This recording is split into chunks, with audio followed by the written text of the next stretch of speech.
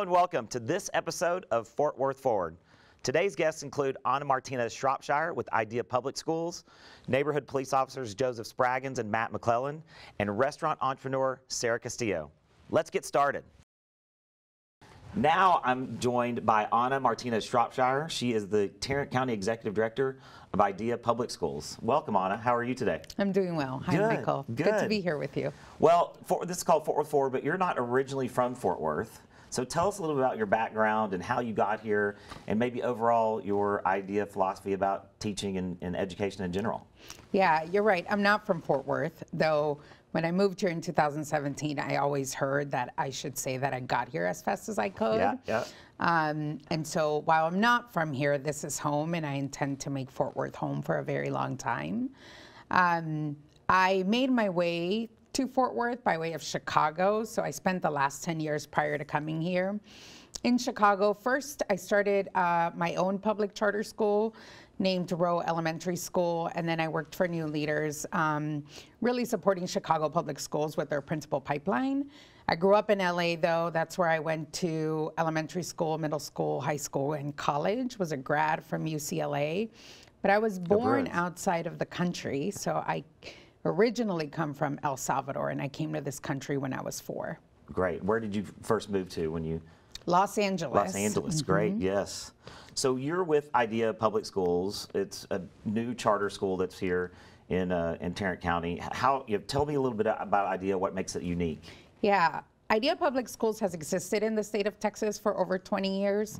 We got started in the Rio Grande Valley, originally, Michael, as an after school program for fourth graders through seventh grade.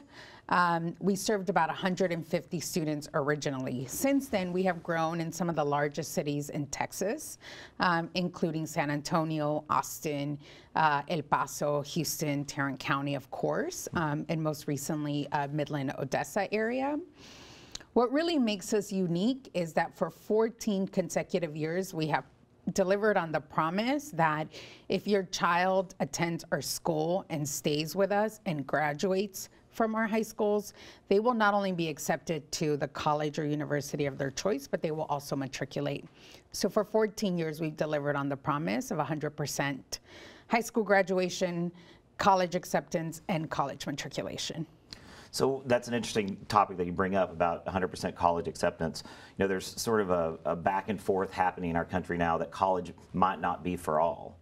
So what is it that uh, you know, idea? Why does it continue to push for college for all? Yeah, there is a back and forth today mm-hmm. around college not being for everyone. Um, and what is accurate today is that in order for an individual to make a livable wage, mm-hmm. you don't necessarily have to have a college degree, right? Right we know that there are jobs that folks Technical can jobs, have, yeah. correct, mm -hmm. where they can make a livable wage. Our mission, though, is not to um, ensure that all of our students have a livable wage. The majority of the students we serve come from low income communities. And so, really, what we're talking about is breaking the cycle of generational poverty. Mm -hmm. And we know that in order to do that, you can't possibly uh, do that by simply making a livable wage. We want our students to make more than a livable wage and really to get to a place where their children and their children's children are also thriving. Moreover, Michael, I think what's important to note right now is that uh, back in 2019, pre-pandemic, right, the unemployment rate for um, individuals who had a high school degree but did not have a college degree was hovering around just a little under 4%. And since the pandemic, just one year later, in April of 2020, that unemployment rate ballooned almost four times for individuals who had a high school degree but not a college degree.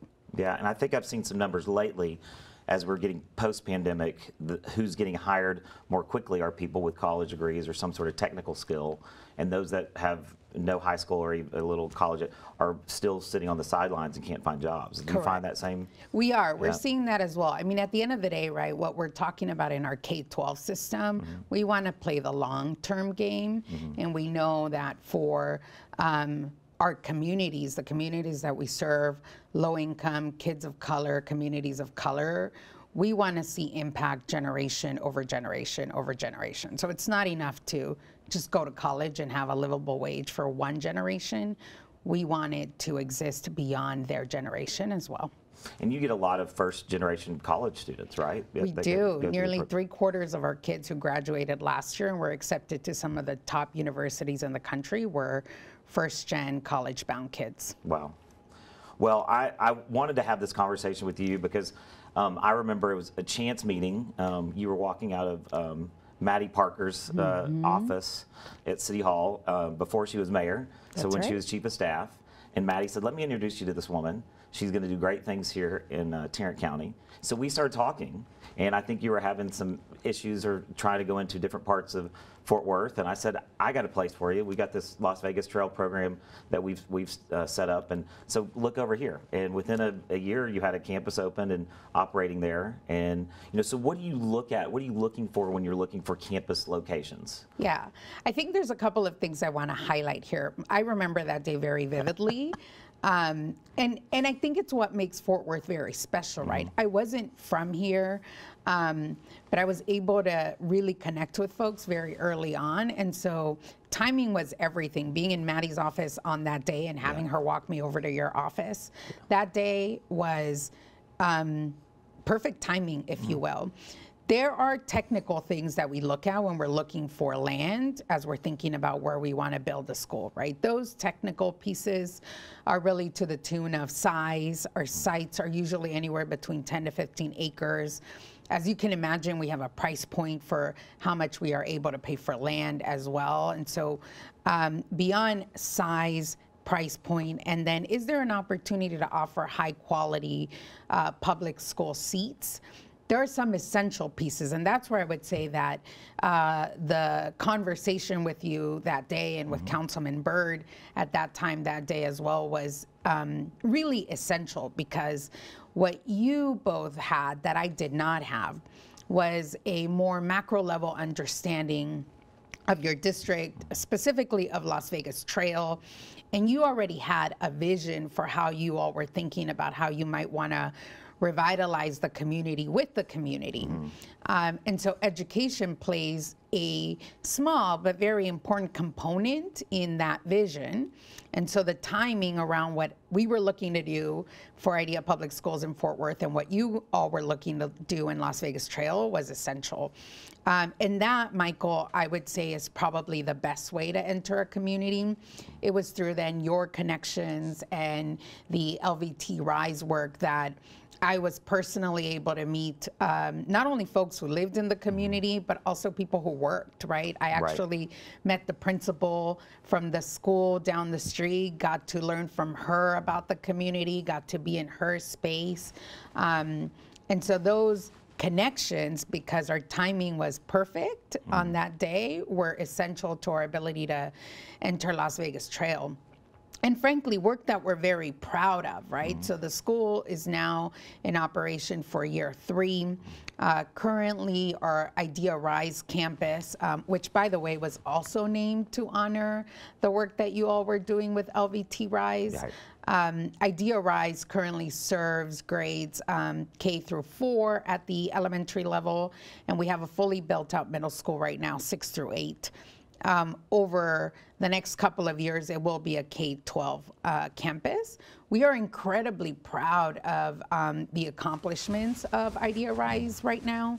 Um, if you look at our state scores from last year, even in a pandemic year, um, our middle school in particular did incredibly well and is the highest performing middle school in, in the district right now. Yeah, so what do you, what, what is the source of those results? How, how, did, how did you get there while other schools were not performing well? Yeah, I think there's some things that IDEA does um, that are just good practices, um, and I think they're important to name number one, culture for us really matters, right? We get very clear on what we expect in terms of what we expect from students, from staff members, from teachers, from parents.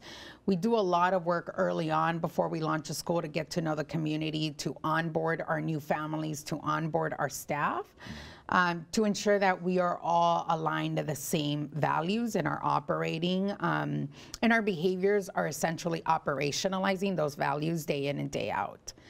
academically, there are some things that we do that are really um, also essential in any school system.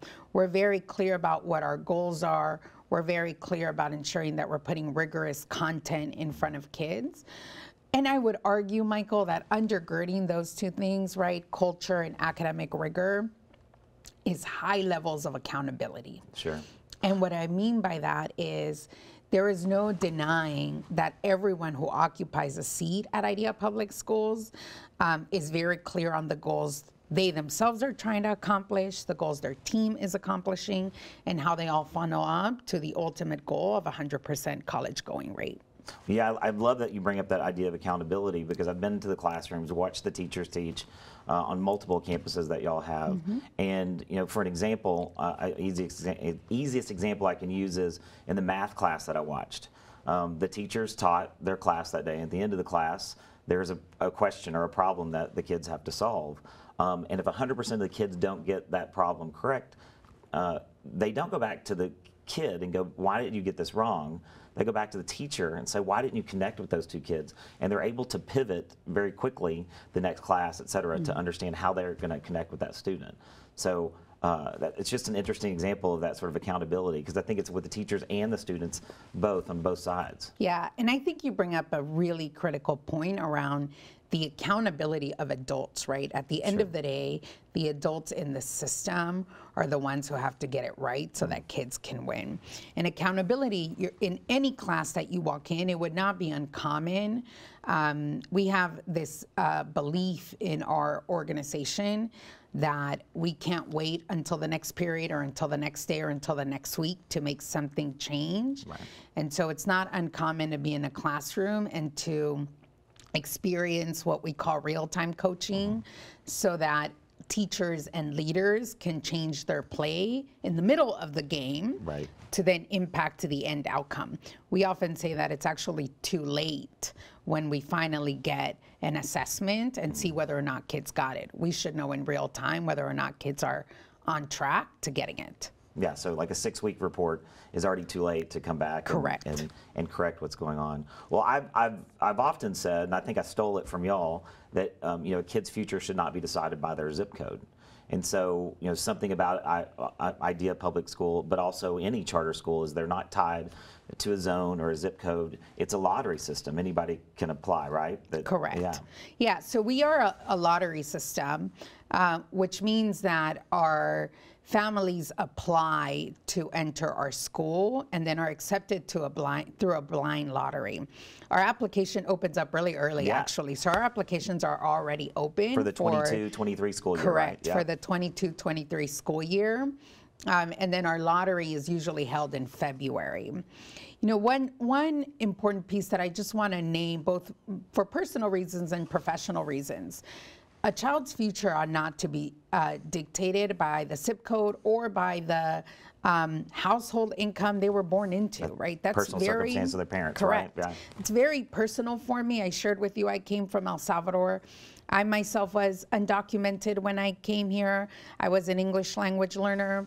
I grew up in a low-income community. Um, I was the first in my family to go to college and um, graduate from college. And that has really drastically changed my own life, and then certainly the life of, of my two daughters now as a result.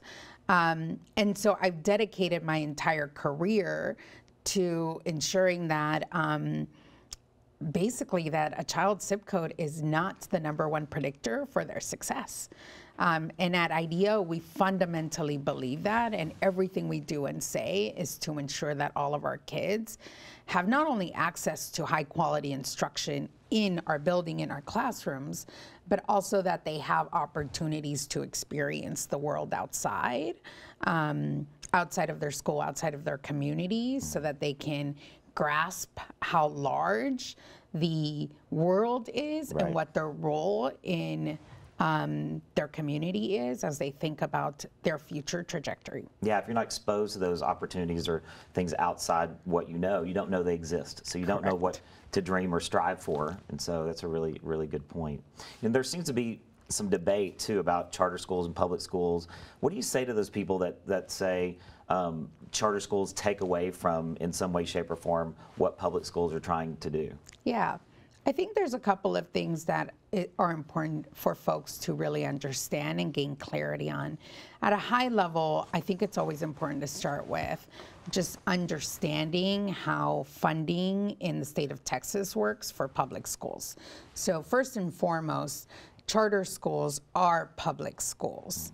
Um, in the state of Texas, public schools are funded by way of two sources state uh, sources and then also local sources. Charter schools do receive per pupil funding through the state of Texas. However, we do not receive any local funding. Um, and so, if a family chooses to go to a charter school, a public charter school instead, their local taxes, if you will, stay in the local public school as well. And so, um, I think it's important to understand a little bit about how that funding works. The other piece um, that I think is really critical to understand is that public charter schools in the state of Texas are also held to the same accountability standards as are all public school districts in the state of Texas. So we are held to the same standards with regard to state testing, with regard to attendance. Certainly, as you can see now, all the COVID policies that are being um, essentially rolled out through the state, those are also things that public charter schools like ours are also held accountable to. Good, good thoughts there. Um, in, in closing, what, what's the future of education in Fort Worth and Tarrant County? What does that look like to you? Yeah. I think the future is really bright, Michael, and I'll tell you why. In my experience, having worked in both traditional public school districts and also charter public schools in big cities like LA and Chicago and Miami, um, what I think is so unique about what's happening in Fort Worth is that you have visionaries who are leaders in multiple spaces in the city, be it civic leaders, philanthropic leaders, business leaders, community leaders, who all love Fort Worth and want to see Fort Worth thrive economically, right? I heard you say that Fort Worth is the 12th largest city. Well, there's some debate right now. Or At 13th, 13th right? or 12. 12 or We're- We're, 13. we're, we're like 12 and a half. 12 we and a half. That's what Let's say, say yeah. 12 and a half today, right?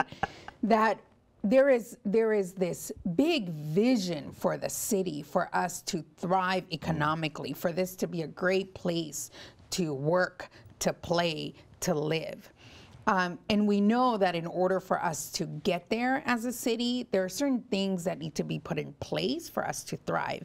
And education is simply one of those foundational pieces. And so, what I see here is an appetite for diversifying the educational ecosystem so that all families, all children have a choice. And again, to our earlier point, it's not rooted in the zip code that they live in. That's right, right.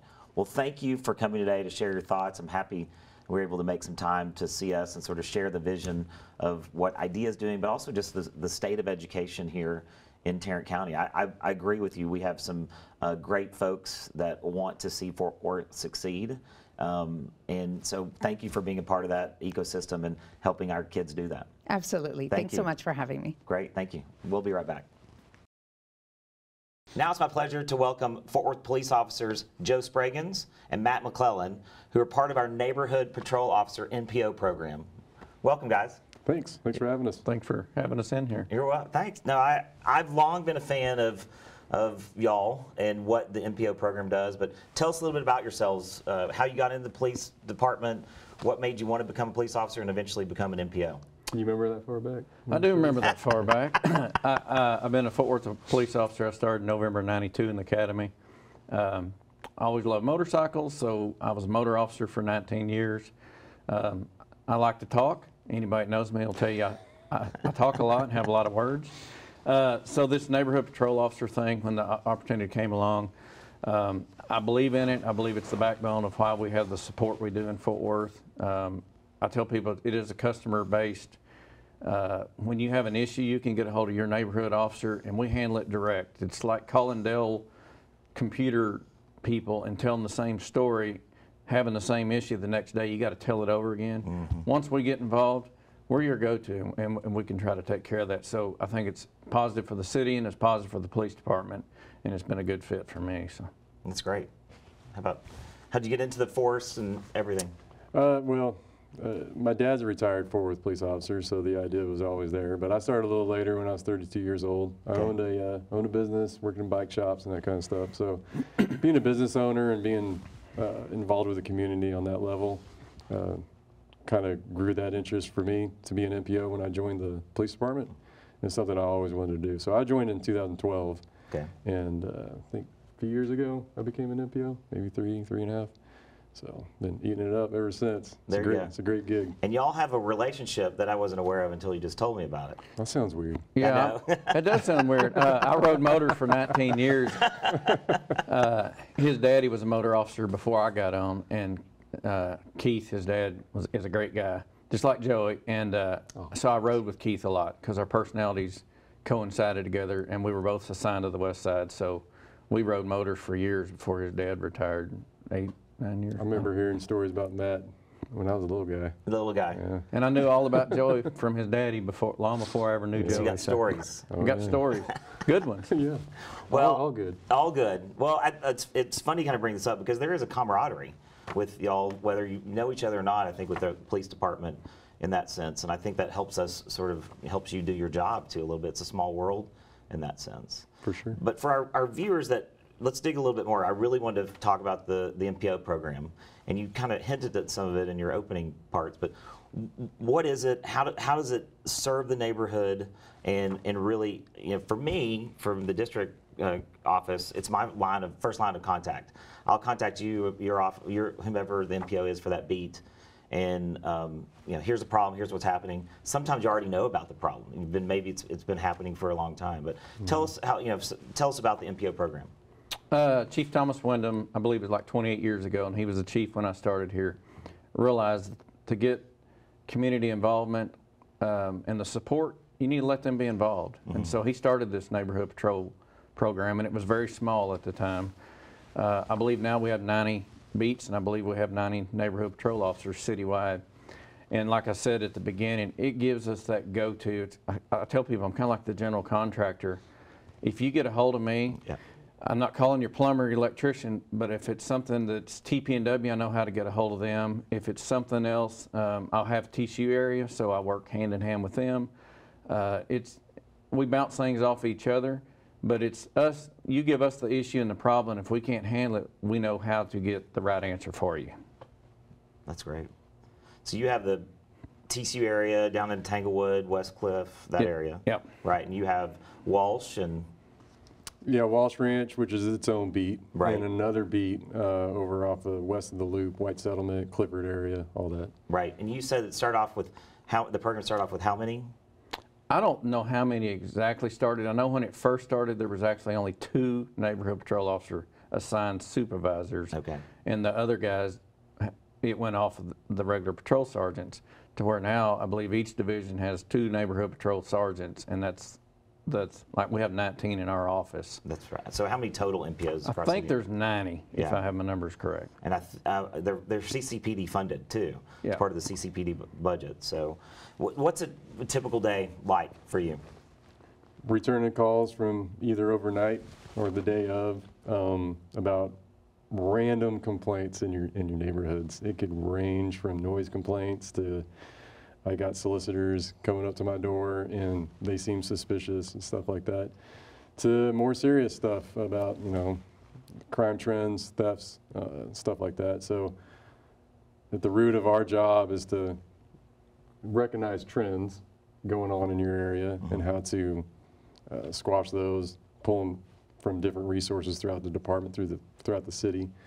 Uh, man, just it can range. Yeah. I mean, it, it's a it's a wide range of what we do. I mean, you're on the on the ground intel that's pushed up and around the department, right? That that helps maybe figure out what's happening in crime trends, as you said, so we Right. can we can attack problems from di- different angles. Yep. What about what's a typical day for you? It just depends on how many loud TCU parties or how many parking complaints I have for the day. Um, I, I don't sit still well, so I'm usually in my vehicle in my area because I like to answer calls for service uh, and assist patrol officers. Uh, first thing I do usually when I come in is read anything that happened overnight or answer my emails or phone calls from complaints or concerns that I've received. Um, and then I go out to businesses and I'll go to residential. Part of part of my favorite thing is riding around weather like this with the windows down. You're going to meet a lot of people. That's how I've made so many contacts in the neighborhood. Is just being out there and being available to somebody wants to tell you something going on. So um, every day is a little different, but predominantly, like I said, if I'm having a trend of certain burglaries in certain areas, then I'll get other like our uh, criminal tracking unit or um, somebody else. You know, hey, hey guys, can you come out to our area and we're having these issues. Um, but it, it's kind of different every day. But um, I enjoy meeting the people. That's good. That's that's your job. I just have kind of a question of what's going on nationally and you know locally. You know, we've been committed to not defunding our police here and making sure that y'all have the assets that you need to do your job. But I would say that the relationships you've developed, people know who you are in the communities. That's your job. You're doing that community policing that we we talk about of sorts. But it's from the side of wait, we're here to help, and that's Correct. really our, mm-hmm. our job. Do you have any thoughts sort of on that, or what? How you know, nationally we're I think morale's low with police officers, but I think when people see what you do and you're really out there with the neighborhood, it, it changes their opinion. I, I've got a lot of friends and relatives that work in other agencies all over. Mm-hmm. Now, I tell people I wouldn't do it anywhere but here because we do have the support of the community. And I think a lot of that goes back to this community policing and letting them be involved and being transparent and let them know what we're doing.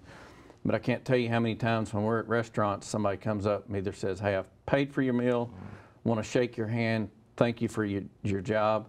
Uh, I've stopped people before that'll still say thank you, you know, for being out here. We appreciate it. So we know we have the support. So I think the morale with Fort Worth Police Department is probably unique, that it's probably much better than it is in some of these other departments. Any thoughts there? Agreed. No, and, and it really falls on the NPOs in their areas to keep that, to keep that morale up, Right. right? I mean, we do have a very good thing going with the CCPD and just the support of the citizens. And, I mean, we're kind of at the front line there to keep that going, you know, because we're, to many of our residents and our beats, we're, we're the face of the department, right? We're the, Right. we're the bridge, we're that link. So if, uh, we fail on following up with calls and stuff like that, if, if, you know, a certain citizen in your beat, it's their first time calling their NPO, and then NPO never calls them back, just leaves them hanging, their view of the department is now tainted. Right. No matter what. Right. I mean, it's gonna take some, a big effort to rebuild that, so. That's right. What what advice would you give, you know, just your average citizen interact how how to interact with the NPO? What you know, what, what advice would you give give, give to them? Um, as far as con- contacting us, or- Well, yeah, or just in general, like uh, your job, your role, like interaction with you, et cetera. I mean, you've kind of talked about it a little bit already, but Bottom line, it's customer based. We work for you. We work for the citizens. Right. You pay our salaries. You pay for our equipment. So if there's a need that we can help you with, please reach out and let us give us the opportunity to help you. Uh, if you see us, come up and approach us. We're we're all human. We just wear all this polyester and funny garb that we do, but we're human Right. underneath all this. So feel free to come up and contact us. Yeah, that's a good point. You're human. So I appreciate what y'all do, and you know, you're two of my two parts of my district um, that I know has always been my first line to call you if this is happening, et cetera, uh, and encouraging people to to contact you. So thanks for what y'all do. I appreciate it. I would like to say Yes. that if um, citizen out, resident out there for your district Uh-huh. has a complaint, reach out to your NPO first. don't don't em- email the council member's office and then have that trickle down to us because it makes us look really bad. I agree because I tell people you Just can give do us a that. shot. You can do that, but all it does, it's coming to us anyway. Right. So give us the chance first. To, It's true. I think people think that they'll get a- a little more reaction if they send it to the office, and I guess it does. But um, you're right. Y'all should be able to get, be given the chance to do your job first, uh, and then then if it doesn't happen, then let us know, and we know that we will help push it in whatever way that it needs to happen. But thanks for what y'all do, and thanks for joining me today. Yeah, thanks, thanks for having us thanks on for here. having us Thank on. you. Appreciate you. Thanks. We'll be right back. Now I'm joined in studio by Sarah Castillo, who is a restaurant entrepreneur here in Fort Worth. Sarah, thanks for joining us. Oh my gosh, thank you for Yeah, having me. No, so long been a fan of yours. Thank We've you. been friends for a long period of time too. But Taco Heads, Tinie's, am I saying that right? Tinie's, yes. Tinie's Uh-huh. restaurant, which is named after your grandmother, Um, my mom. your mom. Yes. And Side Saddle Saloon, which is now down in Mule Alley. Yep. Great. Well, I, you know, with this program, we wanted to highlight entrepreneurs uh, that are, um, you know, just out there, just every day, you know, pushing forward, developing, and you know, you are a definition of an entrepreneur, entrepreneur in my mind because uh, you, you started out of a taco truck, Yeah. right? Yeah, So well- tell us a little about that journey, like starting out of the truck and Oh, how things came together. Um, yeah, I mean, I'm born and raised Fort Worth girl, Yeah. and I I went to school in, in Austin, traveled around, so I lived in Aspen, New York, and Spain, and then when I came back home, I thought I originally my plan was to move back to Austin, and then I just saw what was happening in Fort Worth around 2009, Mm-hmm. and I just fell in love with it, and I was like, I need to get my boots in the ground here. Um, so came up with this idea of the food trailer, the taco trailer, and parked by on Seventh Street next to Seventh Haven, Yeah. um, and then eventually by Pug Mahones. And, Oh, yeah. Um, but yeah, and it's just been crazy since then. You've been grinding every day since then. Every day, like late hours, and it was crazy because I I was probably one of the first food trailers or trucks in Seventh Street district area. Usually they're in the south side or the north side.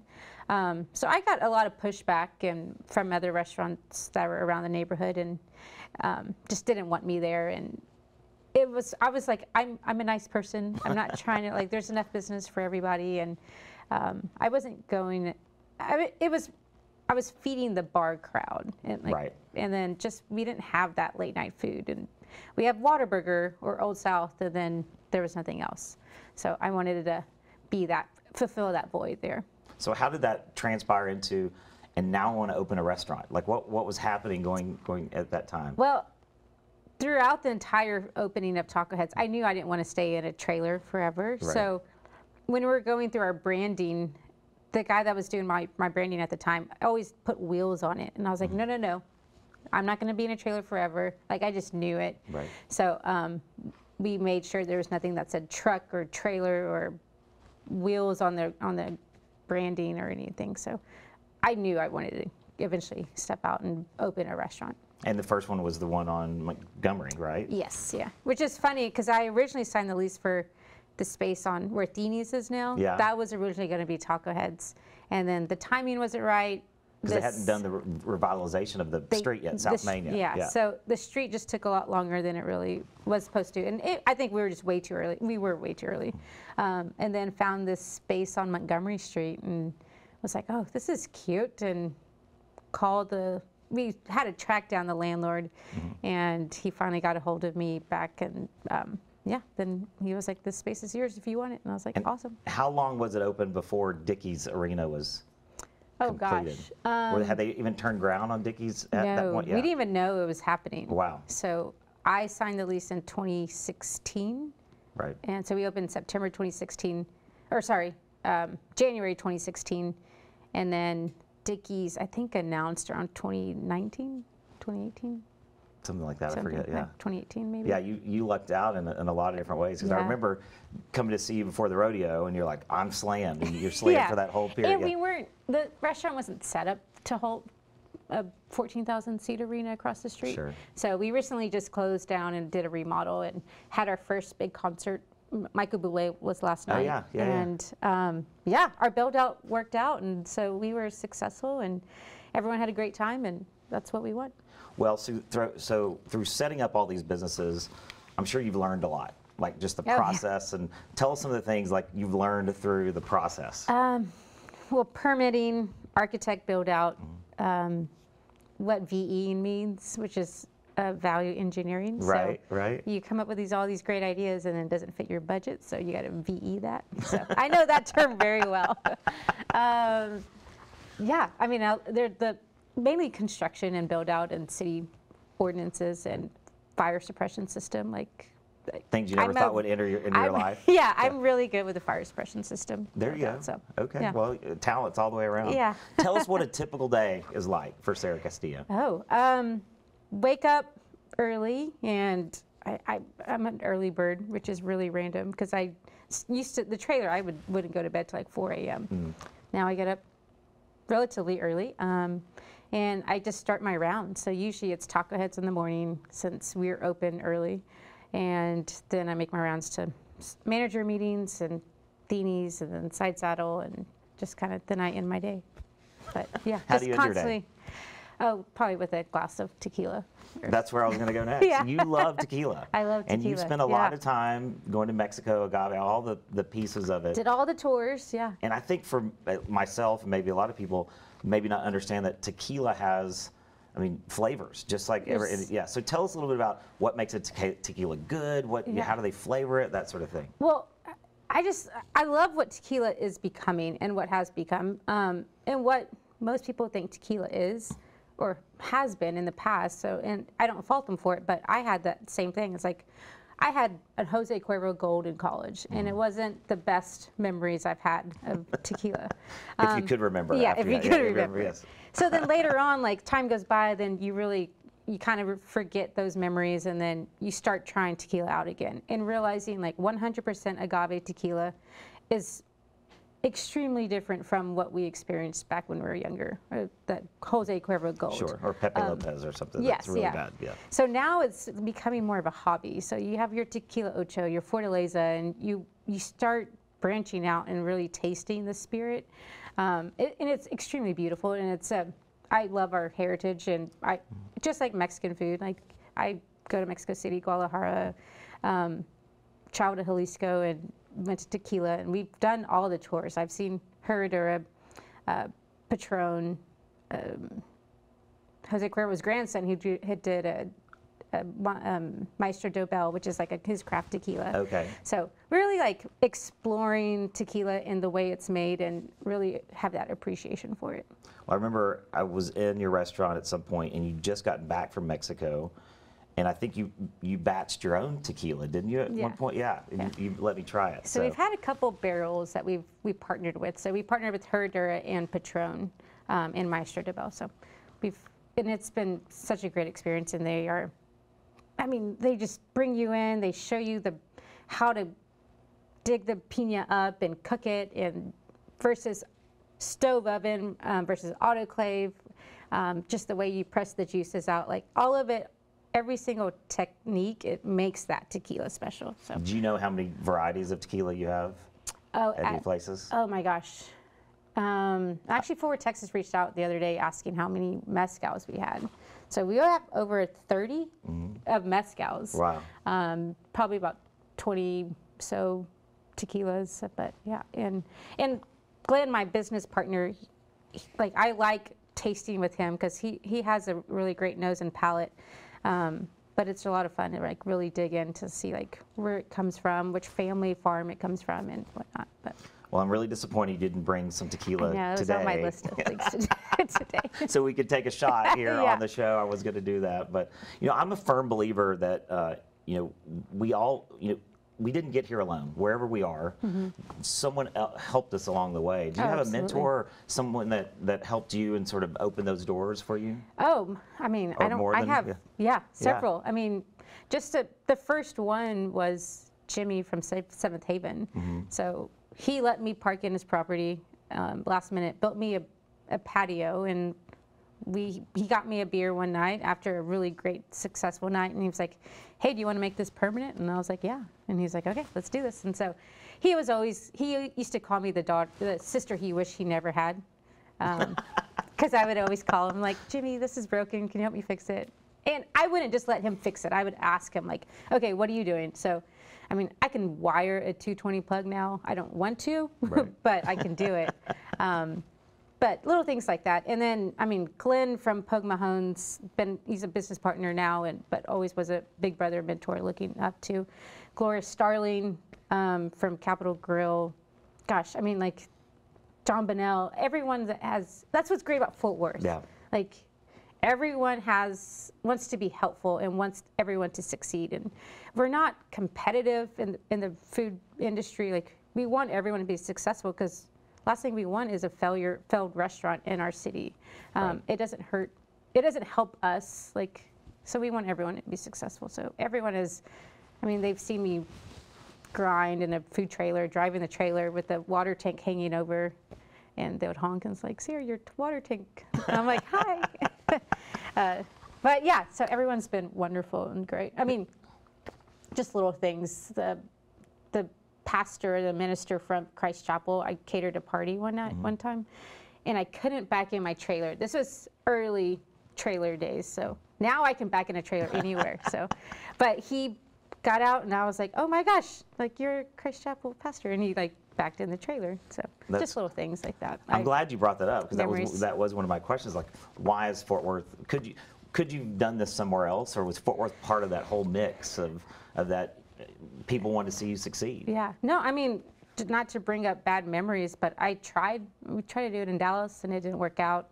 Um, we closed right at COVID, and it was just a bad location, construction, and we got broken into eight times. So, it it no no harm on or no like bad foul or no feelings towards towards yeah. Dallas, but it just wasn't for me. So, Right. um, I know where I belong, and it's Fort Worth. And that's my that's my community. That's great. Yeah. Well, thanks for being here today. How can people find you? Website? What do, what do you?